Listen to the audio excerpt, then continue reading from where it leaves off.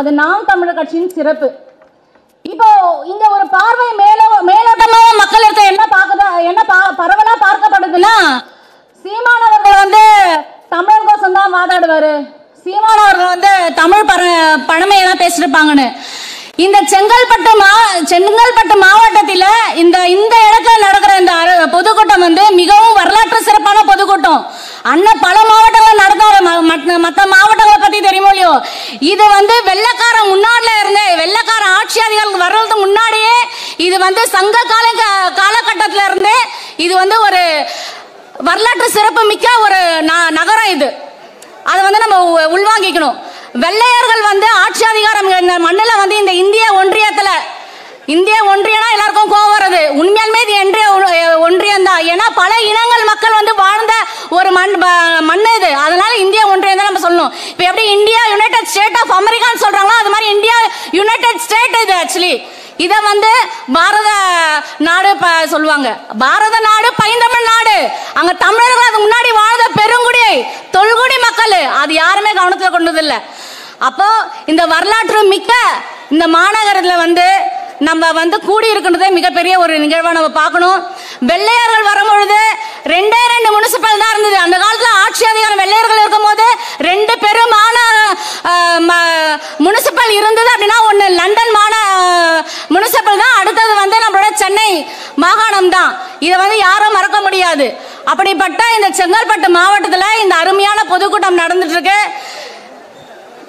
அடுத்தபடியாக த- தேசிய இனங்களின் உரிமைன்னு சொல்றாங்க. எங்கெல்லாம் மக்களின் வளங்கள் மக்களின் நிலப்பரப்புகள் பெருந்து மக்களாக வாழ்ந்து கொண்டிருந்தார்களோ அங்கெல்லாம் ஒரு மூத்த குடியாக தமிழ் குடியாக நாம் பரவலாக வாழ்ந்து வந்தோம்.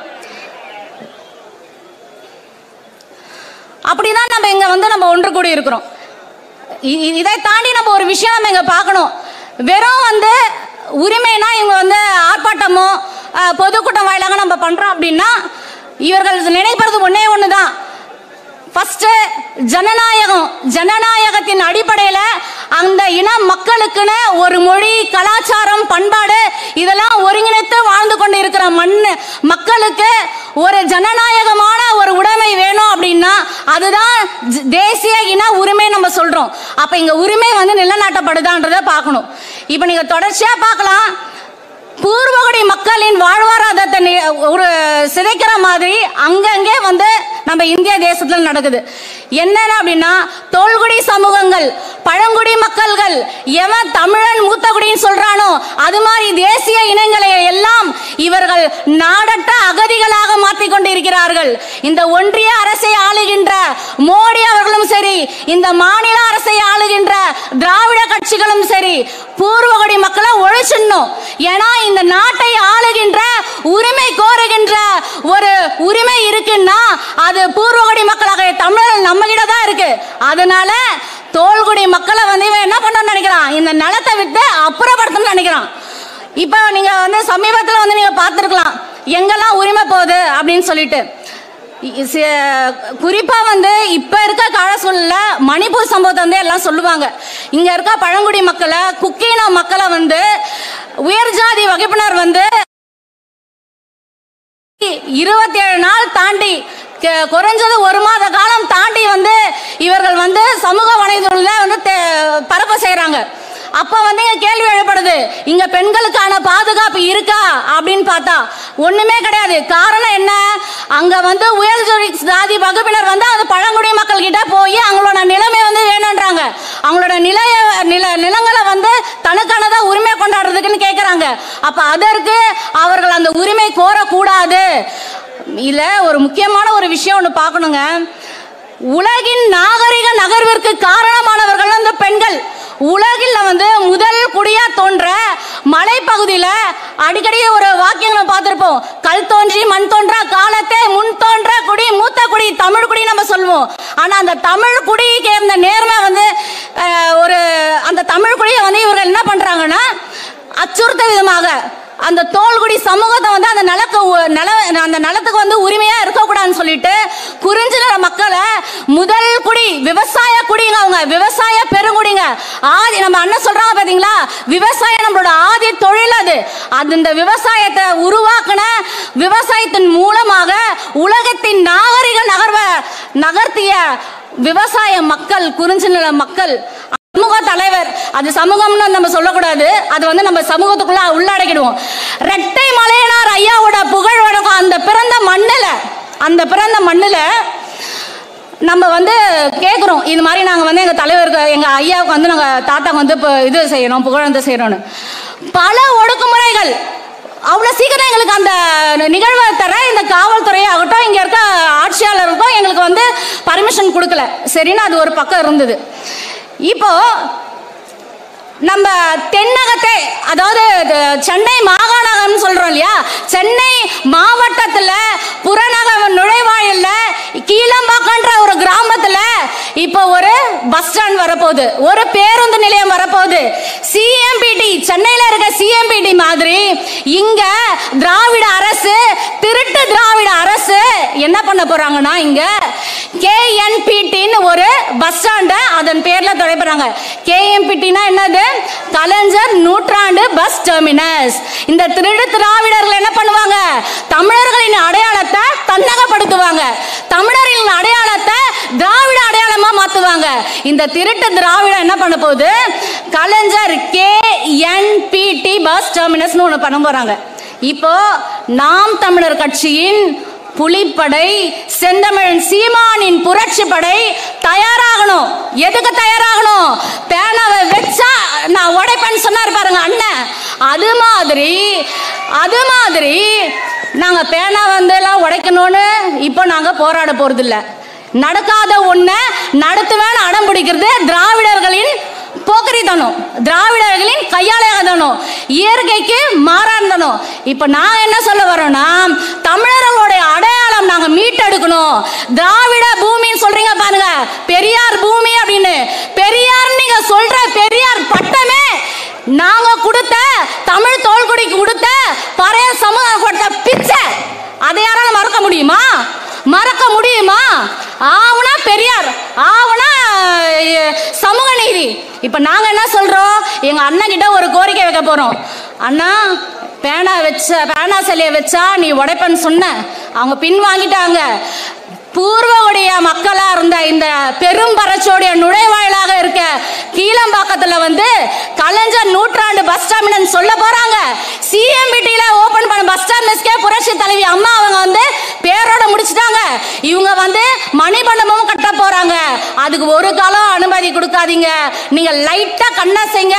நாங்க அங்க களத்துல நிக்கிறோம் அப்படின்னு சொல்லிட்டு அந்த கலைஞர் நூற்றாண்டு பஸ் டெர்மினஸ ரெட்டை மலையனார் பேருந்து நிலையம் நிலையம்னு பேரை வைக்கணும். வைக்கணும். இது எங்களோட கோரிக்கை. இந்த மதுராந்தக மண்ணில் இருக்க மக்கள் அனைவரும் உங்களுக்கான அடையாளத்தை நீங்க மீட்டெடுக்கணும் திராவிட கட்சிகள் வந்து மீட்டெடுக்கணும் வெறும் தேசிய இனங்களின் உரிமை என்ன? தமிழர்களோட கலவ திருட்டு திராவிடம் வந்து தமிழோட அடையாளத்தை எப்படி கையகப்படுத்துற மாதிரியோ திராவிடரோட அடையாளமா இருக்கிறது எல்லாமே இனிமே தகர்க்கணும். அதுதான். தமிழ இனம் தன் இனத்தை காக்க வேண்டும் என்றால் வரலாற்றை படிக்க வேண்டும் வரலாற்றில் பயணிக்க வேண்டும் வரலாறாகவே மாற வேண்டும். அது நாம் தமிழர் கட்சியின் புலிப்படை உறுதியா செய்யும். அந்த திராணியம் தெம்போ நம்ம கிட்ட மட்டும்தான் இருக்கு. இது மாதிரி ஒரு ஒரு விஷயம் நிறைய சொல்லிட்டு போலாம். அதை வந்து இனி வரும் காலங்களில் இந்த மக்கள்ல எல்லாமே இது பண்ணணும். இவர்களை வந்து திராவிட திருவாரூர்களை வந்து பெரியான்னு சொல்லுவாங்க. ஆனால் பஞ்சமி நலம்னா பறந்து பதறுவாங்க. பெரியான்னு சொல்ற இவர்கள் பஞ்சமி நிலைமைனா பதறுவாங்க.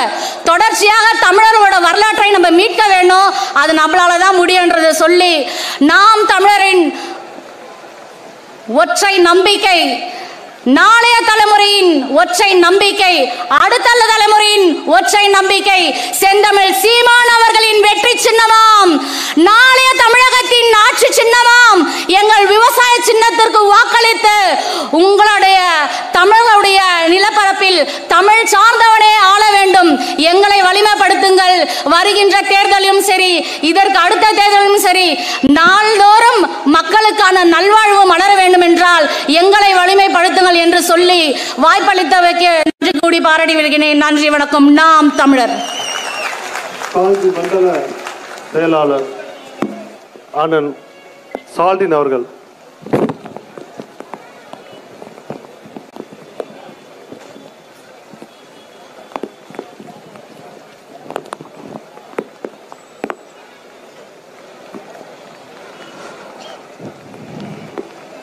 உலக தமிழர்களின் ஒற்றை நம்பிக்கை. நம் அண்ணன் செந்தமிழன் சீமான் உள்ளிட்ட அனைவருக்கும் புரட்சி வணக்கம். கடந்த முறை காஞ்சிபுரத்தில் இந்த பரந்தூர் விமான நிலைய எதிர்ப்பு பொதுக்கூட்டம் நடத்தினப்போ அண்ணங்கிட்ட மக்கள் தலைவர் அப்படின்னு சொல்லி தான் ஆரம்பித்தேன் மக்கள் முதல்வர். எல்லாரும் பாராட்டினாங்க. எந்த ஒரு திராவிட கட்சியில் இருக்கக்கூடிய ஒரு தலைவராக இருக்கட்டும் ஆரிய கட்சிகளுடைய தலைவராக இருக்கட்டும் இந்த மாதிரி மக்கள் முதல்வர் அப்படின்னு ஒரு பட்டம் கொடுத்தா என்ன பண்ணுவாங்க? இந்நேரம் எனக்கு ஒரு டொயோட்டோ காரு ரெண்டு அடுக்கு மாடி இதெல்லாம் வந்திருக்கும். ஏன்னா இது வரைக்கும் யாரும் வைக்கல இல்லையா? அண்ணன் என்ன தெரியுமா செஞ்சாரு? முதல்ல ஒரு அடுத்து என் வண்டி பார்த்துருக்காரு. வண்டியிலையும் மக்கள் முதல்வர் இருக்கு. அதுக்கப்புறம் நான் ஒரு அறிக்கையை அனுப்புறேன். அதுலேயும் மக்கள் முதல்வர்னு போடுறேன். உடனே எனக்கு ஒரு குரல் பதிவு. ஏடா தம்பி? நாம் என்ன மக்களுக்காக மட்டும்தான் அரசியலுக்கு வந்திருக்குன்னு நினைக்கிறியா? செடி புல் பூண்டு பூச்சி பறவை உலகத்தில் இருக்கக்கூடிய அனைத்து உயிரினத்திற்கும் அனைத்து உயிரற்ற வளங்களுக்கும் நாம் அரசியல் பண்ண வந்திருக்கிறோம். என்ன ஏன்டா மக்கள் முதல்வர் சிறுமைப்படுத்துறார் அப்பேற்பட்ட ஒரு தலைவனுடைய தம்பியாக இங்கு நாம் நிற்பதில் பெரும் மகிழ்ச்சி அடைகின்றோம். அதே கூட்டத்தில் தம்பி காஞ்சி சரவணன் ஒருவர் பேசுறான். ஐயா கடல்ல ஏன் ஐயா பேனா விற்கிறீங்க வாங்க பாலாறு இருக்கு. பாலாத்துல இப்படி நெடுக்க வைக்கக்கூடிய அந்த பேனாவை கொஞ்சம் படுக்க போட்டீங்கன்னா ஒரு தடுப்பணையாவது மிச்சமாகும். வந்து பாலாத்துல வந்து கட்டி கொடுங்கன்னா ஐயோ இவனுக்கு தடுப்பணையை கேட்கறானுங்க அப்படின்னு சொல்லிட்டு பேனா திட்டத்தையே கையை விட்டுட்டானுங்க. இங்க வரும்போது அருமையான ஒரு தலைப்பை பார்த்துட்டு அங்க இருக்கக்கூடிய ச- சகோதரிகள் ரெண்டு பேரும் பேசியிருந்தாங்க. தேசிய இனங்களின் உரிமை. முதல்ல தேசிய இனம் என்னன்றது தெரிஞ்சுக்கணும். எந்த ஒரு மொழி பேசுகின்ற ஒரு கூட்டம் தொடர்ச்சியாக பல ஆண்டுகள் பல நூற்றாண்டுகள் தொடர்ச்சியாக ஒரு தொடர் நிலத்தில் வாழ்கிற அவர்கள் சொல்லப்படுவார்கள். அலெக்ஸ் காலியஸ் சொல்றாரு ஒரு காலத்தில் உலகம் பேசப்பட்ட ஒரே மொழி தமிழ் மொழி. எழுதுறாரு டிஏஎம்ஐஎல் தமிழ் அப்படின்னு எழுதுறாரு. அப்படின்னா அர்த்தம் என்ன? உலகத்தில் இருக்கக்கூடிய அனைத்து மக்களும் தமிழை பேசினார்கள் என்றால் உலகம் முழுக்க இருந்தது இந்த தமிழ் பேரினம் என்பது உறுதியாகிறது. அப்போ உலகம் முழுக்க பரவி இருக்கக்கூடிய அந்த ஒரு தமிழ் தேசிய இனம்தான் ஒரு முதல் தேசிய இனமாக அடையாளம் காணப்பட்டிருக்கிறது என் அன்புக்குரிய உறவுகளே. அப்படி உலகம் முழுக்க இருந்த இனம் இயற்கை சீற்றங்கள் காலநிலை மாற்றங்கள் படையெடுப்புகள் தொடர்ச்சியாக அந்நியர்களுடைய ஆக்கிரமிப்புகள் என கொஞ்சம் கொஞ்சமாக கொஞ்சம் கொஞ்சமாக குறுகி பல ஆயிரம் ஆண்டுகள் கழிச்சு கடைசியில் இந்த தமிழ் தமிழியம் தெற்காசிய இந்த உலகத்தில் வந்து நின்னது. எல்லாரும் சொல்றாங்க தமிழ்நாட்டிலிருந்து சென்றார்கள் தமிழ்நாட்டிலிருந்து சென்றார்கள். கடந்த மூவாயிரம் ஆண்டுகளாக மட்டும்தான் என் அன்பிற்கு உறவுகளே. உலகம் முழுக்க பரவி இருந்த இனம் தமிழ்நாட்டிலே குறுக்கப்பட்டது என்பதுதான் வரலாறு. இந்த வரலாற்றை புரிஞ்சுக்காம நம்மளால் அரசியல் பண்ண முடியாது. பிரிட்டிஷ்காரன் நமக்கு விடுதலை கொடுக்கின்ற வரை தமிழ்நாட்டினுடைய அரசியலுக்கு உட்பட்டு தான் ஈழமும் இலங்கையும் எப்பொழுதும் இருந்தது. நீங்க வரலாறு எடுத்து பாருங்க. ஈழமும் இலங்கையும் எப்பொழுதும் தமிழ்நாட்டை ஆண்ட மன்னர்களுடைய ஆட்சியிலேயோ அல்லது நேரடி ஒரு வரி கட்டக்கூடிய ஒரு அமைப்பிலேயோ தான் அது இருந்தது. இவன் மட்டும்தான் வந்து பிரித்து வைக்கிறான். பிரித்து வச்ச உடனே இது இந்தியாவாயிடுச்சு அது இலங்கை ஆயிடுச்சு நாம வந்து அவர்களுக்கு அந்நீரா படுறோம். இலங்கையில் நடந்தா இங்கே என்ன பிரச்சனை? பேசுவோம். உலகம் முழுவதும் இருக்கக்கூடிய மக்கள் நம் மக்கள். அதனால் எந்த தேசிய இனத்திற்கு பிரச்சனை என்றாலும் எங்களுடைய ரத்தம் கொதிக்கும். அப்படி என்ன உரிமை வச்சிருக்கிறோம்? ஐரோப்பிய யூனியன் இந்த ஐரோப்பிய ஒன்றியம் வந்து நமக்கு ஒன்று சொல்லுது.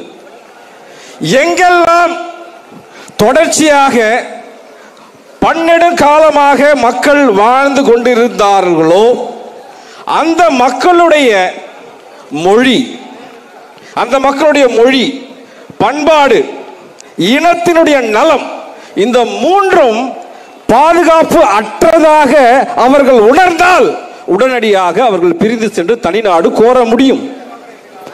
இதுதான் அவர்களுக்கு கொடுக்கப்பட்ட உச்சபட்ச உரிமை. ஐரோப்பிய ஒன்றியங்கள் அதைத்தான் நடைமுறைப்படுத்தின. அதனால தான் அந்த ஒன்றியம் அத்தனை மொழிகள் இருந்தாலும் பிரான்ஸ் ஜெர்மனி அது இதுன்னு சொல்லிட்டு அத்தனை மொழிகள் இருந்தாலும் அந்த ஒன்றியத்துக்குள்ள வரும்பொழுது அனைத்து நாடுகளும் சேர்ந்து கட்டப்பட்ட ஒரு ஒன்றியம். தங்கச்சி சொன்ன மாதிரி united states of India united states of India இது இந்திய ஒன்றியம்.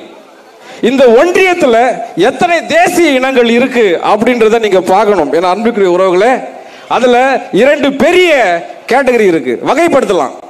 நாடு இருக்கின்ற தேசிய இனம் நாடு இல்லாத தேசிய இனம்.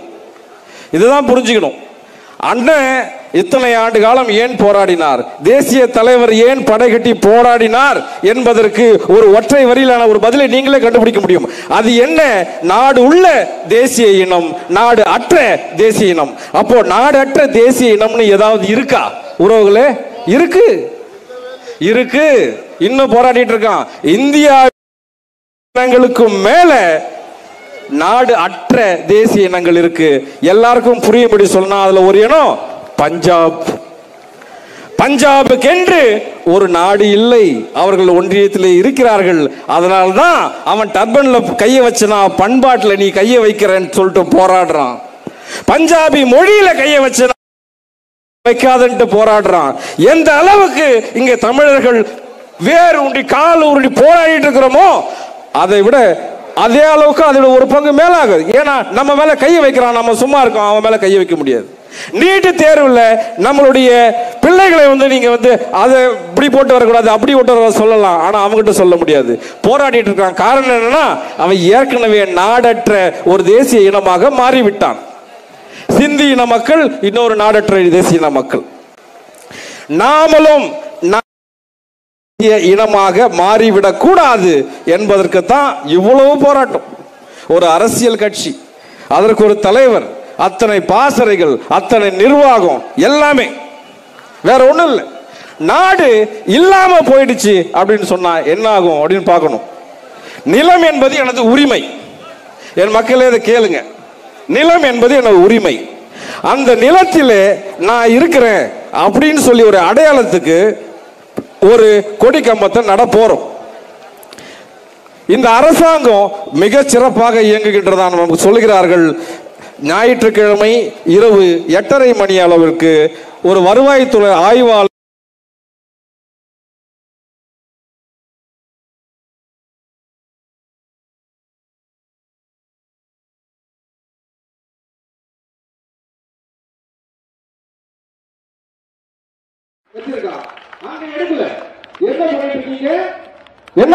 இருக்கீங்க. கேட்டோம்னு சொன்னா இல்ல என்க்ரோச்மெண்ட் சார் அங்க போயிட்டு பார்த்துட்டு வாங்க. சார் ஒரு 50 மீட்டர் கூட இல்ல. சார் பக்கத்துல தான் சார் இருக்கு. பார்த்துட்டு வாங்க. இல்ல. அப்படியும் கடைசியில நட்ட கம்பத்தை புடுங்கியே ஆகணும் அப்படின்னு சொல்லிட்டு ரொம்ப போராடுறாங்க. முதல்ல கையில வச்சு எடுத்தாங்க. நம்ம பசங்களுடைய வேலையை அசைச்சு கூட பார்க்க முடியல. அப்புறம் ஒரு கிரேனை எடுத்துட்டு வந்தாங்க.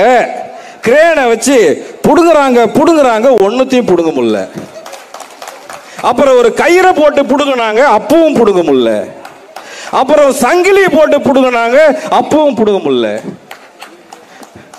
உறவுகளே இது என்ன திராவிட மாடல் ஆட்சியில் கட்டின தூணா? சும்மா கையில் வந்து சாஞ்சி விட்டா போல போலன்னு வந்து கொடுக்கறதுக்கு ஆ? மான தமிழ் மக்கள் தன்னுடைய வருமானத்தில் சும்மா ஒரே ஒரு கம்பத்துக்கு ஒரு கால் போட்டிருக்கான் அதை புடுங்க முடியல. இந்த நாலு சீட்டு அஞ்சு சீட்டு வச்சுக்கிறவங்களாம் நம்மளை கேட்குறா நீ என்னத்தை பிடுங்க போறேன்ட்டு? ஏய் நாலு சீட்டுக்காக நாங்கள் பிடுங்கிறதுக்கு வரலையா? இந்த நாடே வேணுன்றதுக்காக தான் பிடுங்கிறதுக்கு வந்திருக்கோம். இந்த நாட்டுக்காக அரசியல் பண்ண வந்திருக்கோம். ஏன் இந்த நாலு சீட்டை வாங்கி நீ என்னத்தை பிடிங்கிட்ட? என்னத்தை பிடிங்கிட்ட? என்னுடைய இந்த உறவுகளில் இருக்கக்கூடிய ஒரு சின்ன பையன் வந்து கேட்பான் இந்த கேள்வியை. பதில் சொல்ல முடியுமா? முடியாது. முடியவே முடியாது. நீங்க என்ன செஞ்சாலும் எங்களுடைய இந்த வளர்ச்சியை தடுப்பதற்கு ஆகாது. வேணும்னா அந்த காவல்துறை அதிகாரியுடைய தொப்பி தப்பி இருக்கலாம் இல்லையா? அந்த வருவாய் ஆய்வாளருக்கு ஒரு ப்ரொமோஷன் வரும்னு சொல்லி இருந்திருக்கலாம். ஆனாலும் அந்த கம்பம் அங்கே தான் இருக்கு. அண்ணன் ஒருவேளை இங்க இருந்து இப்போதைக்கு ஆணையிட்டாலாம் போகும்போது கொடி அங்க பறந்துருக்கும். பறந்துருக்குமா பறந்துருக்காதா? அதிகாரிகளுக்கும் ஆட்சியாளர்களுக்கும் ஒன்னே ஒன்று தான் சொல்லிக்கிறோம் நாங்கள் உங்களுடைய அதிகாரத்துக்கும் ஆட்சி அதிகாரத்திற்கும் கட்டுப்பட்டவர்கள் அல்ல. எங்களுடைய அண்ணனுடைய அதிகாரத்திற்கும் ஆட்சிக்கும் கட்டுப்பட்டவர்கள். அவர்களுடைய சொல்லுக்கு கட்டுப்பட்டவர்கள். இங்கிருந்து நீ போய் நட்டுட்டு வா அப்படின்னு சொல்லியிருந்தாருன்னா நட்டுட்டு வந்திருப்போம். நீங்கள் யாரும் எங்களை தடுக்க முடியாது. ஏனென்றால் நிலம் எங்களுடைய உரிமை. கடைசியில் என்ன தெரியுமா பண்ணாங்க? புடுங்க முடியல இல்லையா? அதனால வீட்டுக்குள்ள போயிட்டு அவங்களுடைய பரம்பரை தொழில் ஒன்று இருக்கு இல்லையா? திருட்டுத்தனமாக தான் ரயிலில் வந்தாங்க. எய்ம்ஸுக்காக வச்சிருந்த ஒரே செங்கல்லையும் ஒருத்தர் திருடிட்டு வந்துட்டாரு. அதே ஃபாலோ பண்ணுறாங்க வீட்டுக்குள்ள நுழைஞ்சு ஒரு கொ- கம்பத்தை வந்து பெயிண்ட் பண்ணி வச்சிருக்கிறோம். வண்ணங்கள்லாம் பூசி வச்சிருக்கோம். அந்த கம்பத்தை தூக்கி போட்டு போயிட்டாங்க. இந்த திருட்டு புத்தி இவங்களை விட்டு போவே போவாதா? என்ன மாதிரியான ஒரு ஒரு ஆட்சியும் ஒரு அரசாங்கத்தையும் இவங்க நடத்திட்டு இருக்காங்க என் மக்களே? ஒரு கட்சிக்காக இந்த ஒரு கட்சிக்காக ஒரு கொடிக்காக பயந்து அத்தனை அரசும் அதிகாரமும் அங்கு வருகிறது என்றால் இதே மக்கள் சட்டமன்றத்திலையும் பாராளுமன்றத்திலையும் போய் உட்கார்ந்தா என்ன வரும்? கொஞ்சம் யோசிச்சு பாருங்க என்ன வரும்? ஒரு கையெழுத்து போட முடியுமா? போராட்டங்கள் தான் தேவையா? தேவையே இல்லை. மக்களுக்காக மக்களால் நடத்தப்படுகின்ற ஆட்சி மக்கள் ஆட்சி அது எங்க அண்ணன் சீமான் அண்ணன் மட்டும்தான் தான் முடியும். வேற யாராலையும் முடியாது. இவனுக்கு போறானுங்க. பிபிபி இது யாருக்காவது தெரியுமா? பிபிபி ஐம்பத்தாறு இன்ச்சு அவர் போடுறாரு. பிபிபி பப்ளிக் பிரைவேட்டு பார்ட்னர்ஷிப் நல்லா புரிஞ்சுக்குங்க. இந்த தேசிய இனங்களுடைய உரிமையே அவங்களுடைய நிலத்திலையும் அந்த நிலத்தை சார்ந்த வளத்திலையும் அங்கதான் இருக்கு. அதை பாதுகாக்கிறதுக்கு தான் இவங்களுக்கு ஒரு அரசாங்கம். அந்த அரசாங்கம் செயல்படுத்துகின்ற ஒரு திட்டங்களோ இல்லை ஒரு நிறுவனங்களோ தான் இந்த பப்ளிக் கம்பெனிங்க பப்ளிக் இப்போ பப்ளிக் பிரைவேட் கம்பெனி என்ன? அவன் தனித்தனி முதலாளி சின்ன சின்ன கடையை வச்சிருப்பான். அவன் அவன் பொழைச்சிட்டு போயிருப்பான். அவனுடைய வியாபாரத்துக்கு அவன் எடுத்திருப்பான். இப்போ என்ன செய்யறாங்க இந்த தேசிய இனங்களை வந்து அப்புறப்படுத்தும். அப்புறப்படுத்துவதற்காக கொண்டு வருவாங்க ஒரு திட்டத்தை பப்ளிக் பிரைவேட் பார்ட்னர்ஷிப் இந்த அதானி எப்படி உள்ள வந்தார் நினைக்கிறீங்க? பப்ளிக் பிரைவேட் பார்ட்னர்ஷிப் அதாவது ஒரு ஒரு பொதுத்துறை நிறுவனம் இருக்கும். அது அந்த மக்களுக்கான பொதுத்துறை நிறுவனமாக இருக்கும். அவங்கள பாதுகாத்து வச்சிருக்கும். அது என்ன பண்ணும்னா மக்களுடைய பங்குகளை அது வச்சிருக்கும். அதை கொண்டு போயிட்டு இப்போ பிரைவேட் நிறுவனத்துக்கு கொடுக்கறது. அவன் வருவான். வந்த உடனே அதில் இருக்கக்கூடிய பங்குகள் எல்லாத்தையும் வாங்கிடுவான். என் அன்புக்குரிய சொந்தங்களே நல்லா யோசிச்சு பாருங்க. ஒரு தனியார் நிறுவனத்தில் இருக்கக்கூடிய பங்குகளை ஒரு அயல் நாட்டு நிறுவனம் சீனா நிறுவனமோ அல்லது அமெரிக்க நிறுவனமோ வாங்கினால் ஒரு நாட்டுகள் கட்டுப்படுத்த இயலுமா? இயலாது. அப்போ இங்க இருக்கக்கூடிய பொதுத்துறை நிறுவனங்கள் எல்லாத்தையும் கொண்டு போயிட்டு வெளிநாடுகளுக்கு விற்பனை செய்யக்கூடிய ஒரு புரோக்கர் வேலையை தான் இன்டர்நேஷனல் புரோக்கர் பார்த்துட்டு இருக்காரு அது இங்க இருக்கக்கூடிய நேஷனல் புரோக்கர் கையெழுத்து போட்டு எல்லாத்தையும் அப்ரூவ் பண்ணிட்டு இருக்காரு இல்லைன்னா பரந்தூர் நிலைய விமான நிலையம் வரக்கூடிய பேச்சுக்கே இடம் இருந்திருக்காது. பரந்தூர் விமான நிலையம் என்ன? காலம் காலமாக தொடர்ச்சியாக அந்த நிலத்தில் வாழ்ந்து கொண்டிருக்கின்ற ஒரு தேசிய இனத்தின் மக்களை அப்புறப்படுத்தி ஒரு வெளிநாட்டு முதலாளிக்கோ அல்லது அந்நிய முதலாளிக்கோ அந்த நிலத்தை கொடுத்து ஒரு நூற்றாண்டுகளுக்கு பிறகு வருகின்ற இந்த மக்களுக்கு என்ன தெரிய போகிறது? நாங்கள் சொல்லுவோம் நான் அஞ்சு தலைமுறையாக நாங்கள் தான் இங்கே இருக்கிறோம். இது எங்கள் நிலம்மா. இந்த நிலம் எங்களோட உரிமைம்மா. அப்போ அவன் சட்டத்தை பேசுவான். சட்டத்தை பேசுறதுக்கு நீ நான் இருக்கணும்னு சொன்னா நாம் தமிழர் கட்சிக்கு வாக்களிங்க. நாம் தமிழர் கட்சி ஒன்று மட்டும்தான் உங்களுடைய பாதுகாப்பு. நாம் தமிழர் கட்சி ஒன்று மட்டும்தான் மக்களுக்காக மக்களின் நலத்திற்காக சட்டமன்றத்திலோ இல்ல பாராளுமன்றத்திலோ பேச முடியும். வேறு எந்த கட்சியும் பேசாது. கடைசியா ஒண்ணு சொல்லிட்டு நான் முடிச்சுக்கிறேன். எல்லாரும் சொன்னாங்க எந்த காலத்திலையுமே திமுகவும் அதிமுகவும் ஒன்று சேருவதற்கான வாய்ப்புகளே இல்லை. சேர்ந்தாச்சே. மதுராந்தகத்தில் சேர்ந்தாச்சே. பசங்க அடிச்ச அடியில் இந்த பக்கம் நாம் தமிழர் கட்சி அந்த பக்கம் திமுக அதிமுக ரெண்டு பேரும் சேர்ந்து இல்லை வரான். ஒத்தனால வந்தால் சமாளிக்க முடியாது அப்படின்னு சொல்லி இது இது ஒரு நல்ல வாய்ப்பு தான் ஒவ்வொருத்தரும் அடிக்கிறதுக்கு ரொம்ப சிரமமா இருக்குடா தம்பிகளா. எல்லாரும் ஒரே இடத்துல வாங்க அங்க வைக்கிறோம். வருகின்ற பாராளுமன்ற தேர்தலில் நம்மளுடைய வேகம் இன்றைக்கு இருந்ததை விட பல மடங்கு அதிகமா இருக்கணும். எல்லா இடத்துக்கும் போவோம். தம்பிங்க ஒரு கொடி வைக்கிறதுக்கு முடியலன்னு சொல்லிட்டு கஷ்டப்பட்டாங்க. தம்பிகளே கடினப்பட வேண்டாம். அண்ணன் வாக்குறுதி கொடுத்துருக்காரு. இன்னைக்கு வைக்கலன்னா உறுதியா வைப்போம். அப்போ ஒரு ஒரு இடத்துல இல்லை. உங்க பேரூராட்சியில் இருக்கக்கூடிய பதினஞ்சு கிளைகளையுமே வந்து நாம் வந்து கொடி ஏத்த தான் போறோம். இது உறுதி. நன்றி. நாம் தமிழர். மாநில இளைஞர் பாசறை ஒருங்கிணைப்பாளர் சகோதரி பாத்திமா பர்கானா.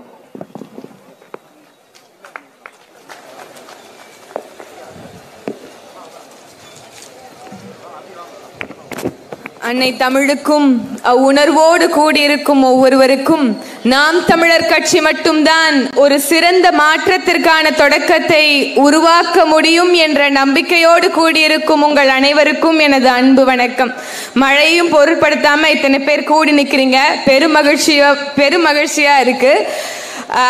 எல்லார் சார்பாகவும் இன்னைக்கு தாய்மாமன் சீமான் அவர்கள் இருந்தால் ஒரு கோரிக்கையோடு ஆரம்பிக்கணும்னு இருந்தேன் இருந்தாலும் இது காணொலி வாயிலாக என் தாய்மாமனுக்கு சென்று போய் சேரும் என்றுதான் நினைக்கிறேன். என்ன அப்படின்னா எனக்கு எப்படி உங்க மேல அன்பும் அக்கறையும் இருக்கோ அதே மாதிரி இங்க இருக்கக்கூடிய ஒட்டுமொத்த பேருக்கும் தமிழ்நாடு இந்திய உலகம் மொ- ஒட்டுமொத்த பேருக்கும் உங்க மேல அன்பும் அக்கறையும் இருக்கும். அதனால இனிமேல் நீங்க தயவு செஞ்சு மழையில நனையாதீங்க. மழையில கொடையை பிடிச்சுக்கோங்க. இல்ல யாராவது பிடிச்சுக்குவாங்க. இது என்னுடைய அன்பான கோரிக்கையா நீங்க ஏத்துக்கணும் மாமா. நான் நினைக்கிறேன் எல்லாரும் இதற்கு ஆமோதிப்பாங்கன்னு நினைக்கிறேன். அப்படிதானே?